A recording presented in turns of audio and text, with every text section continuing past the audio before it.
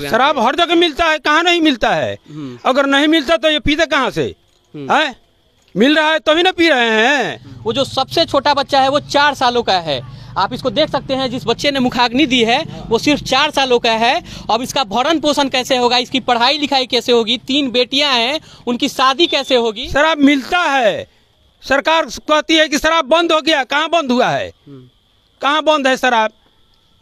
बिहार में शराब जो है, वो हवा की तरह हो गई है। हवा जो है, होती है, लेकिन दिखती नहीं है, लेकिन जो शराब है, बिकती हर जगह है, लेकिन सरकार के हिसाब से वो बंद है।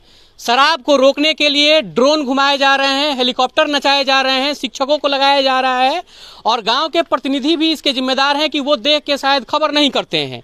लेकिन हर पंद्रह दिन पे हर दस दिन पे लोगों की मौत हो रही है और इसकी ज़िम्मेदारी जो है सरकार नहीं ले रही है। चचा बताएँगे चचा कैसे मौत हुआ है? शराब पीने से मौत हुआ है। अच्छा है शराब शराब हर जगह मिलता है कहाँ नहीं मिलता है? हम्म। अगर नहीं मिलता तो ये पीते कहाँ से? है? मिल रहा है तभी ना पी रहे हैं। हम्म। अभी अभी यहाँ पर मौत हुआ था। उसरी में उसरी चंदपुरा में मौत हुआ था। शराब पीने से ही जहरीली शराब पीने से। शराब मिलता है। सरकार कहती है कि शराब बंद हो गया। कहाँ बंद हुआ है? कहाँ बंद है शराब? प्रशासन आई थी। प्रशासन आई थी। पूछताछ की चली गई। और क्या कोई प्रतिनिधि आया था नेता होता कुछ? कोई कोई नेता नहीं आया था। स्थानीय जो विधायक हैं वो? नहीं आए थे। विधायक जी भी नहीं आए? नहीं आए थे विधायक जी भी नहीं आए थे। अच्छा। आज सुबह कोई भी यहाँ पे नहीं आया? नहीं कोई नहीं आया जी। का है? अब तो यहाँ का जो विधायक है उनसे पूछना चाहिए कि आपके विधा- विधानसभा में ऐसा घटना घटा है आपको आके देखना चाहिए कि वही नहीं प्रतिनिधि आ रहा है। इसका जिम्मेवार कौन है? सरकार है नीतीश कुमार है कौन है? किसी की जवाबदेही कौन देगा? सारी बातें एक तरफ़ हैं कि शराब पीने से आदमी की मौत हो गई, कोई भी जनप्रतिनिधि नहीं आया, प्रशासन आई, बातचीत करके चली गई। ये हमेशा का है कि कोई भी जनप्रतिनिधि जो है, ध्यान नहीं देता है इन सब बातों पे। अगर आता भी है तो संतावने दे के चले जाते हैं सब लोग। प्रशासन आती है, अपना जो कोरम है वो पूरा करती है, चली जाती है। लेकिन कोई इस बात पे ध्यान नहीं देता है कि जो चार छोटे छोटे बच्चे हैं और जो भी लोग मरते हैं, उनके भी बच्चे होते हैं। यहाँ पे जो बच्चे हैं, वो जो सबसे छोटा बच्चा है, वो चार सालों का है। आप इसको देख सकते हैं जिस बच्चे ने मुखाग्नि दी है वो सिर्फ़ चार सालों का है। अब इसका भरण पोषण कैसे होगा इसकी पढ़ाई लिखाई कैसे होगी तीन बेटियाँ हैं उनकी शादी कैसे होगी इसका ख्याल किसी भी जनप्रतिनिधि को नहीं है। कहाँ गई चाची वो जो थी? इधर आओ।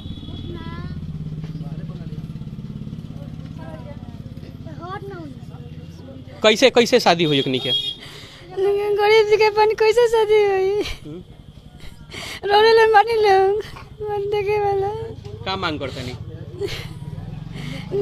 नौकरी बाल बच्चे के बिया बिया करे के पैसा। नौकरी में बिया शादी करके पैसा दिलो और पढ़ाई करे के पढ़ाई लिखाई करे के देखिए ये अभी उस हालत में नहीं है कि बोल पाए लेकिन जो ये कहना चाहती हैं हम आपको बता दे रहे हैं इनका साफ़ सुथरे तौर पे कहना ये है कि जो बच्चे हैं उनके भरण पोषण के लिए इनको एक नौकरी मिलनी चाहिए ताकि ये अपने बच्चों का भरण पोषण कर सके।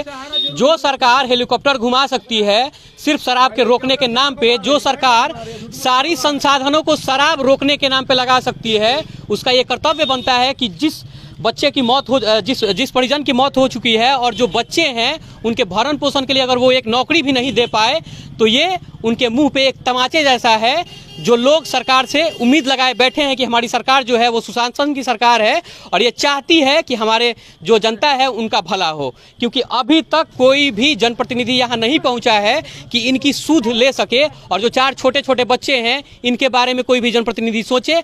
गाँव के लोग परेशान हैं कि छोटे छोटे बच्चों का भरण पोषण कैसे होगा, लेकिन जिन गाँव के लोगों ने प्रतिनिधि को चुना है, वोट दिया है वही प्रतिनिधि अभी तक गायब है। बाकी देखते हैं कि कब तक जनप्रतिनिधि आते हैं या आश्वासन या नौकरी की जो आश्वासन होती है वो देते हैं और इस परिवार की सहायता करते हैं। मैं हूँ ऋषभ छपरा, अपडेट के लिए कैमरे के पीछे सुधीर हैं।